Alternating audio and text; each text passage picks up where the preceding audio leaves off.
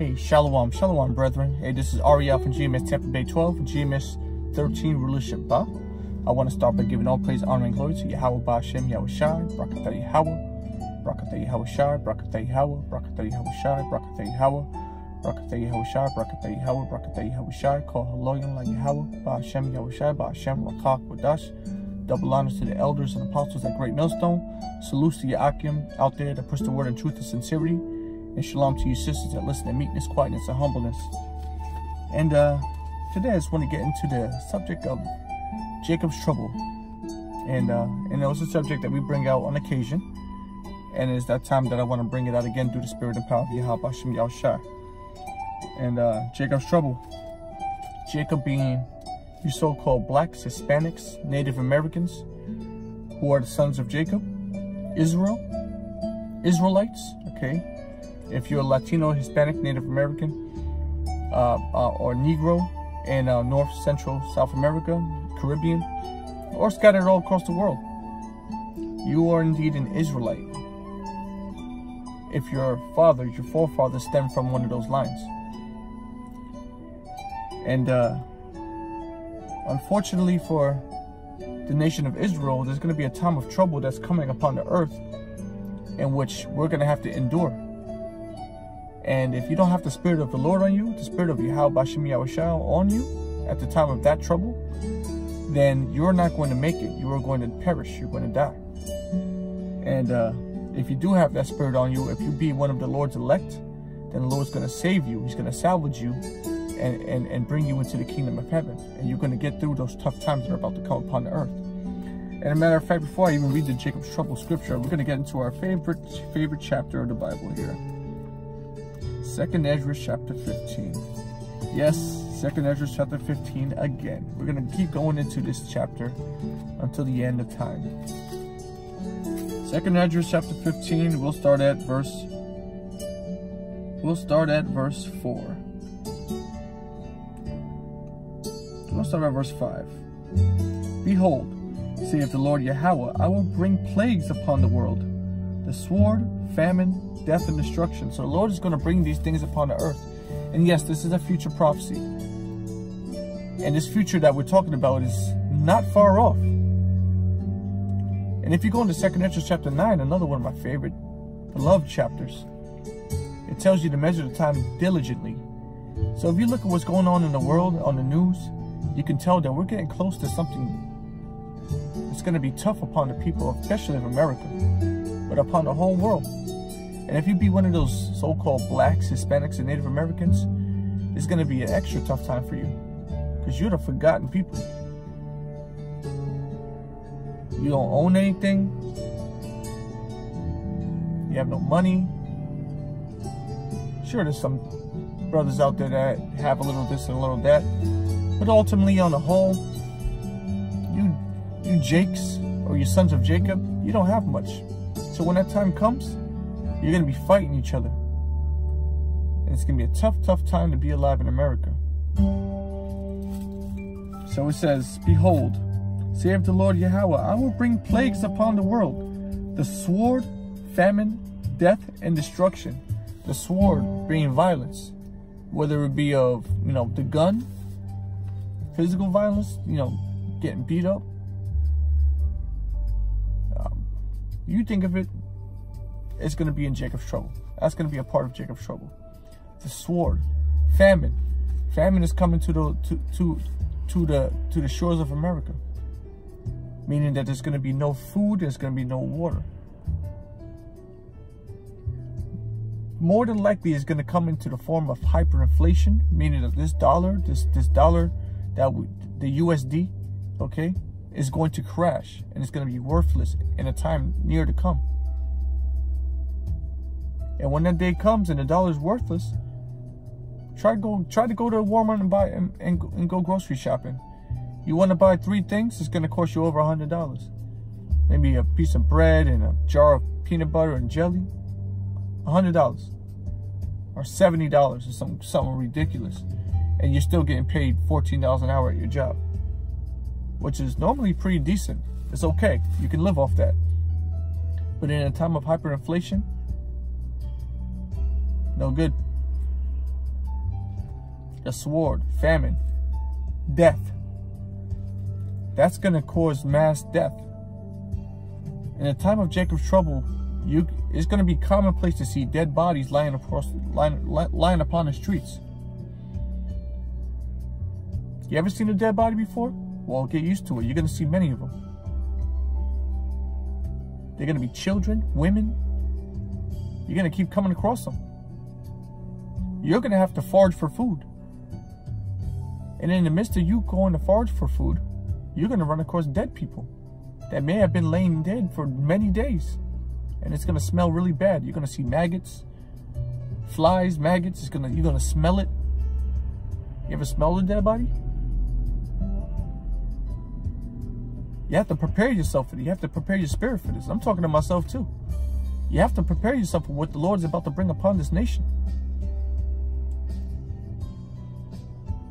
Death. You're to see dead animals, dogs, cats, you know, people's pets, dogs and cats, regular house cats, dogs, people trying to eat them, but realize that it's something they really can't eat. Then you just see a dead carcass out there with its entrails strewn about.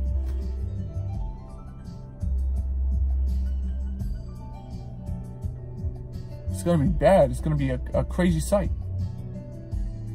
You're gonna see you're gonna see packs of dogs too. I'm gonna tell you that.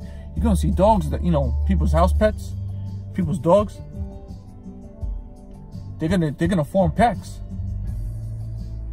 And they're gonna go out searching for food. And when they see a people, a people, when they see a person, they're gonna go and bite his head off and eat him. Their natural instinct is gonna start to take over at that point because nobody's feeding them anymore. So now what are they gonna do? They're gonna form packs and they're gonna hunt. And if, and and and and, and, and, the biggest prey they're gonna see out there is you people. You you frail and feeble people out there with your ribs showing. Those are going to eat you alive. And your bodies and your bones are going to be left strewn out across the damn street. Death. Destruction. Ultimately, is going to lead to the destruction of America. War. Foreign countries are going to invade this place, America, one way or another. That day is coming where you're going to see troops on the streets of America that do not speak English. And they're going to rummage your house. And they're going to take your food. They're going to take your wife. They're going to take your daughter. And they're going to kill you. Which is going to ultimately lead to nuclear destruction. These are the times that are coming to America.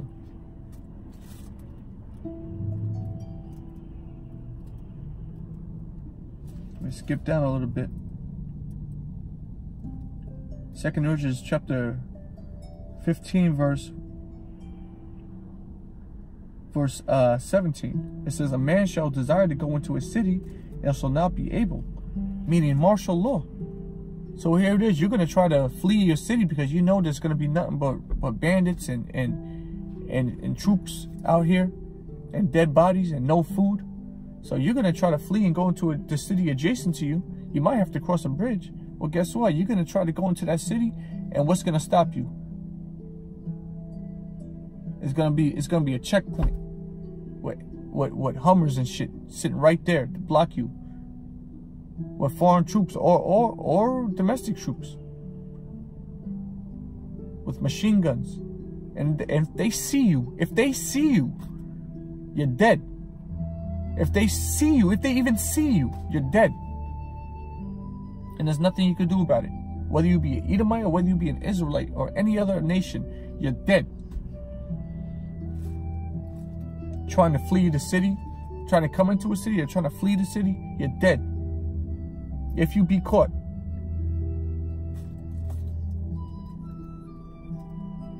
For because of their pride the city shall be troubled, and the houses shall be destroyed, and the men shall be afraid.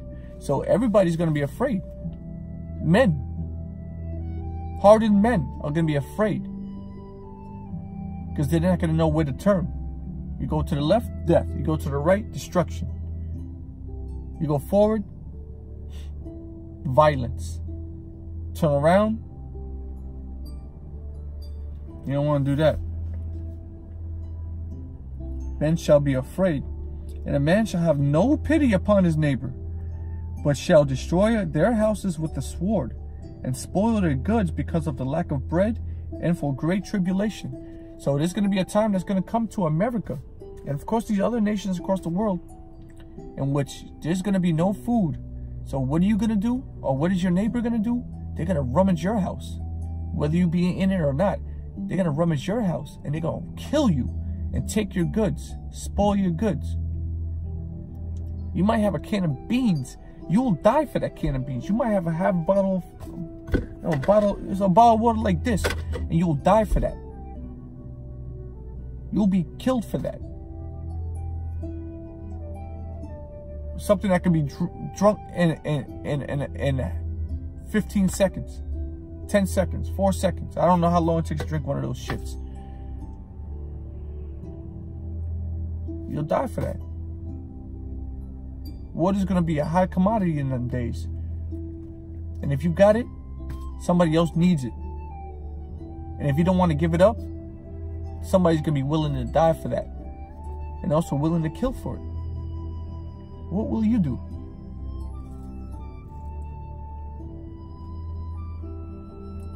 It says a man shall have no pity upon his neighbor. The same neighbor that you that you lived with for many, many years in that same house.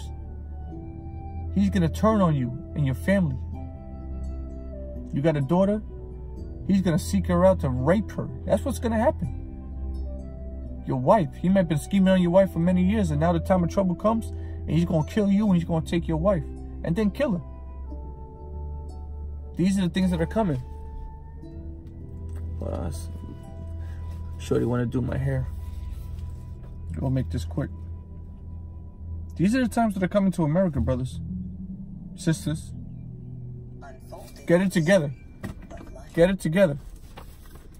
And we're not telling you this because we're, we're trying to scare you. This is this is something that's said to happen. The Lord said this is going to happen. So we'll get into the to the to the scripture of Jacob's trouble. This is Jeremiah chapter 30, verse 7. It says, Alas, for that day is great, so that none is like it. It is even a time of Jacob's trouble but he shall be saved out of it. Out of it. The time of Jacob's trouble. Jacob being you so-called black people, you so-called Negroes, you call yourself black, which is stupid. Black means dead, negative, death,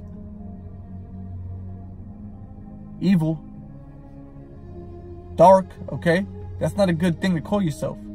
You so-called black people you Hispanic people, and you Native Americans. Jacob, you're the sons of Jacob. The time of Jacob's trouble is coming. But who's going to be saved out of it? Who is ye shall be saved out of it? The elect of Israel, the elect of Jacob is going to be saved out of said trouble. You can't make yourself part of the number, but what you can do is, is, is do the will of the Lord, which will make your chances really good. If you're really doing the will, if you're doing the will of the Lord in truth and sincerity, then there's a good chance that you'll be saved out of the said trouble that's about to come upon the earth. Follow Yahweh Shem Yahushai in truth and sincerity, and it's a good chance that you'll be saved out of the out of the said perils. Verse 8 For it shall come to pass in that day, saith the Lord Yahweh of hosts, that I will break his yoke from the off thy neck, and will burst thy bonds, and strangers shall no more serve themselves of him, because the Lord is going to eventually put our oppressors underneath us. The Lord is going to put our oppressors under our foot, and we're not going to serve them no more. They're going to serve us. But before that day comes, before the day of, of, of, of our salvation comes, we're going to have to go through a hard, hard tribulation. And if the Lord is not with you in that day, I'm sorry for you. It's going to be a bad time for you. Evil. But if you be part of that number, the Lord is going to have your back all the way to the end.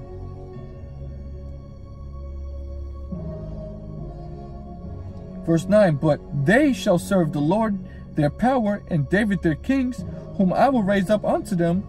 Therefore fear thou not, O my servant Jacob, save the Lord Yahweh. Neither be dismayed, O Israel, for lo, I will save thee from afar, and thy seed from the land of their captivity, and Jacob shall return and shall be in rest and be quiet, and none shall make him afraid. Nobody's going to be able to touch us. If the Lord is with us, who can be against us? None. The Lord's going to save us out of our, the land of our captivity. America, Europe, Australia, South America, Canada. You name it, we're good. If you be part of the number. If you be part of the 144,000 or the one third men, women, and children that are slated to be saved out of the come, come, coming destruction, then you're good. So with that, Lord willing, this was edifying unto the elect of, Israel. I want to say, call Lord, Yahweh Shem Shai. Double honors to the elders and apostles of Great Millstones. Salute to the Akim. Shalom to the sisters. And Mawaf Peace.